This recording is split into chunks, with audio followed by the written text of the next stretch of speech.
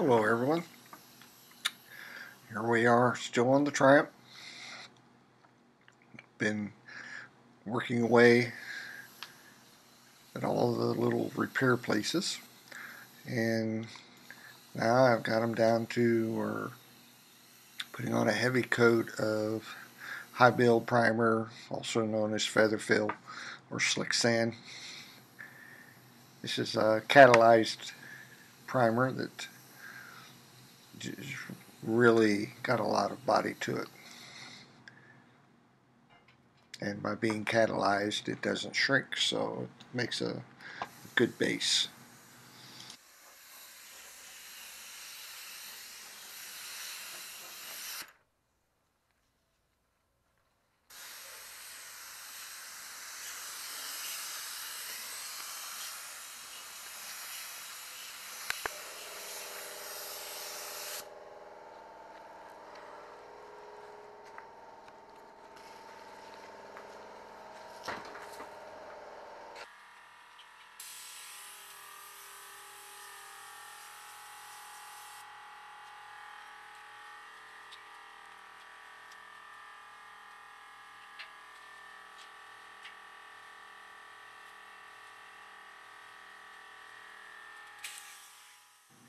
And this inner wheel tub didn't have any damage, but the forming of the metal from the factory left a lot of imperfections and ridges. So I'm putting a couple of heavy coats of the feather fill in there and we'll block it down and it'll be nice and slick.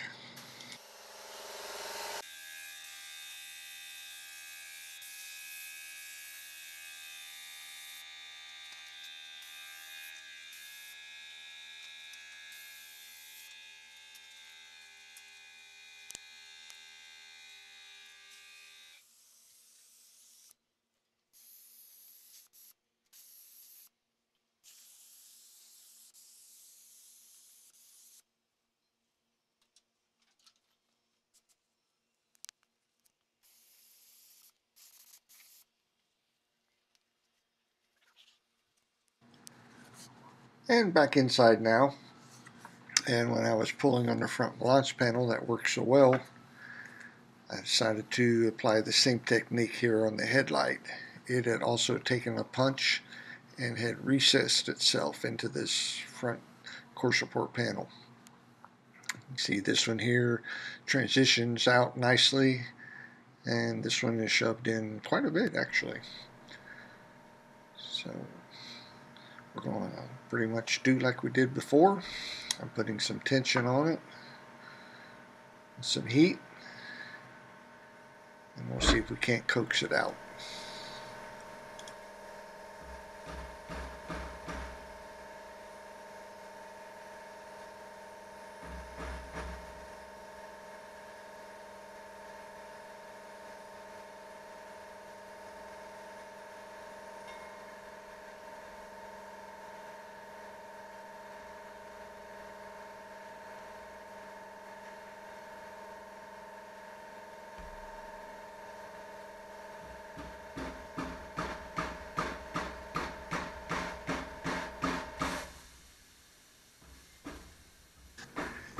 Started out using a rubber hammer but as you'll see later on that uh, went back to using my steel hammer and give it a good whack.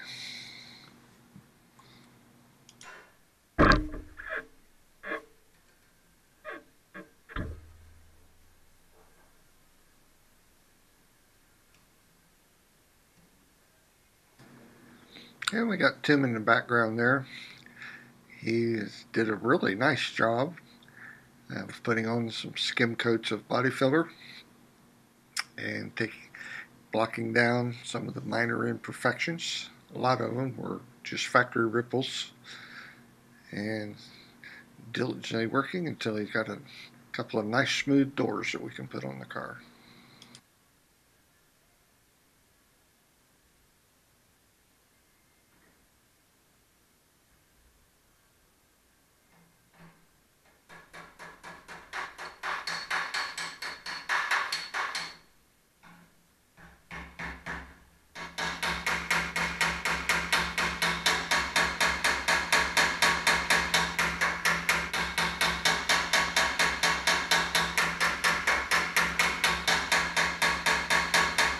Have to admit it took me a few years to figure it out, but eventually I found that lots of well-placed smaller taps often ended up with a much nicer job than just going in and aggressively beating the sheet metal around to where I wanted it to be.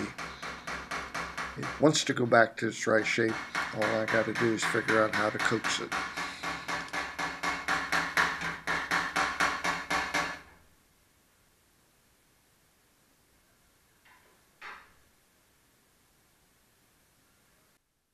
And you may notice here I had the same situation I had with pulling the valance. The amount of force to pull the headlight hole out it was moving the upper portion too far. So I put a tie down strap around it and now I can get more pressure into the area I want and gently hammer and that curved area that is suck in and try to get it to come out nice and flat.